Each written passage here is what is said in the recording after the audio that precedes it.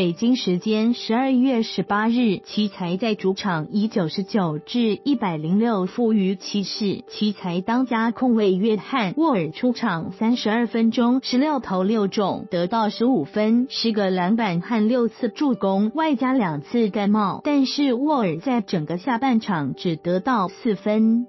上赛季，沃尔打出了职业生涯最佳表现，这让他在今年夏天收获了一份四年一七亿美元的续约合同。然而，本赛季开始以后，沃尔又受到伤病的困扰，这显然影响到了他的比赛节奏。上一次骑士客场打奇才，勒布朗詹姆斯狂砍五十七分，作为奇才的当家球星，沃尔必须得给出一些回应了。上半场沃尔的表现很反常，他八投四中，得到十一分，但是他连着丢了两个几乎是必进的上篮，而三分球却是二投二中。第二节还剩四分多钟，沃尔突破骑士的防线，几乎是获得了一个上空篮的机会，结果球刷空而出。紧接着下一个回合，沃尔在篮下躲开了克劳德的防守，第一手上篮，可惜球还是没进。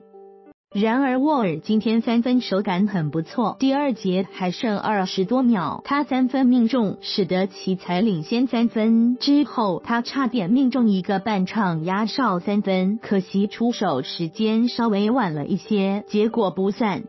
下半场开始后，沃尔的三分手感就不像上半场那样好了，他连投两个三分都没进。不过他在第三节。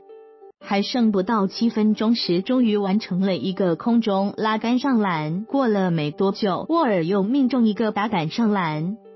然而，沃尔在整个下半场就只得到四分、两个上篮，而且他在第四节的一次突破上篮还遭到了詹姆斯的封盖。在奇才最需要得分的时候，沃尔的侵略性明显不足。最终，奇才在主场再次负于骑士。罗森。